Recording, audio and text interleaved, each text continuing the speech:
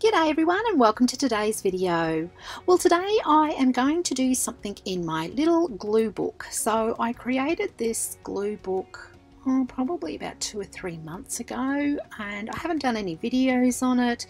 This is just a quick flip through that I had recently just created some of these pages. So today I just want to show you um, how I actually do it. And this is a Kaiser Craft little notebook as well, so just with blank pages. Now today what I've got is some book pages and I have just ripped them up into some strips so horizontally and vertically and what I'm going to do is I'm just going to paste these onto my page so I'm just going to alternate the horizontal and the vertical ripped pages onto the page and I'm just going to glue them down with my UHU glue stick.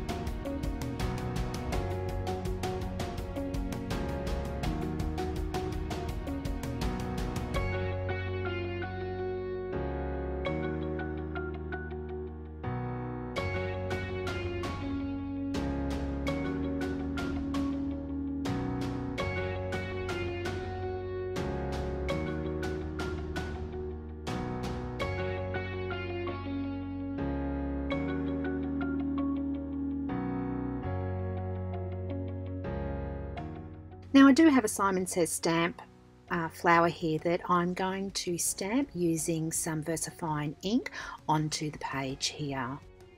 Now my inspiration today has come from Kat Hand. She recently did something like this and I loved it so much that I just had to replicate it. Thanks Kat for giving me some inspiration.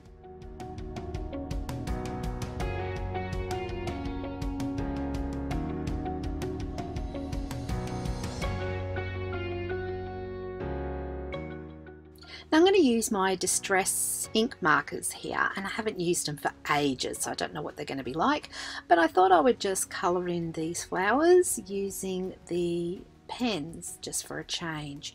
So all the products that I'm using will be listed over on my website and my website link will be listed in the description box down below.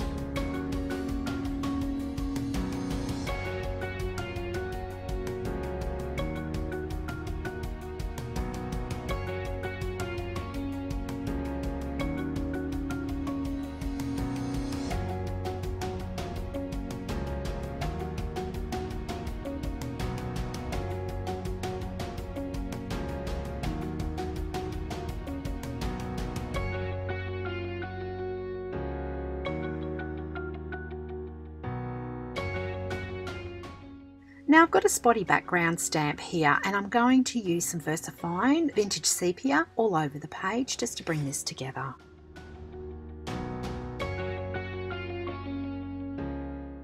Now I saw this wording in a magazine and I just had to cut it out and I thought I would use it today just for my page.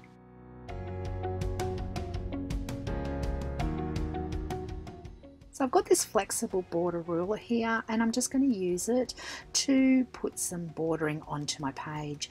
I've just got a black Nico pen and I'm just going to put that on all four sides. Now I can clean off my ruler, I just normally clean it off with either a bit of metho or some hand sanitizer is really good as well. So I'm just going to colour in all my borders sides and it looks really effective with this um, border on the page.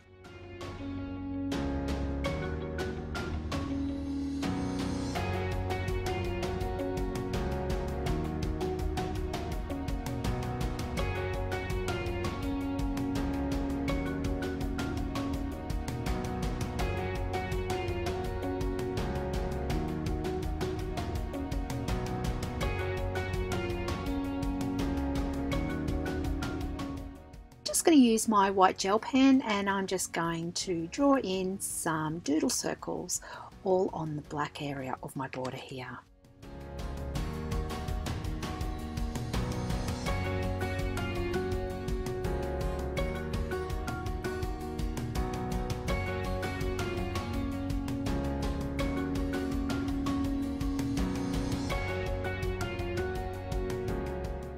I am adding some clear gesso just to the edges of the book pages and over my let's get started because I am going to just put some shading on.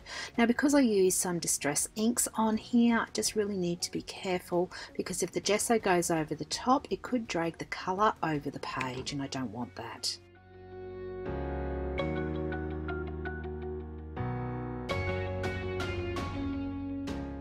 Now I'm just adding some Faber-Castell Gelato in Lemon just in the middle of all my flowers. This will make the flowers pop.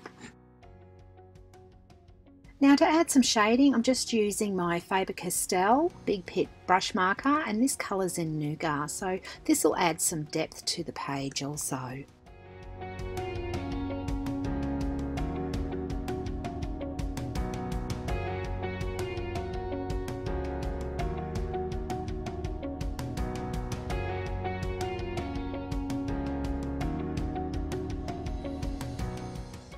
So flowers wouldn't be without butterflies, so I've got some butterflies here. I'm just going to stamp them out in some jet black in the archival ink.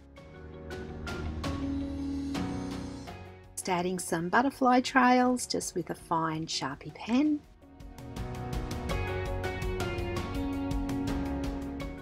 And I'm just going to colour in the butterflies using some Posca pens in orange, yellow and blue. All the products that I am using today for this art journal page will be over on my website and that website link will be in the description box down below.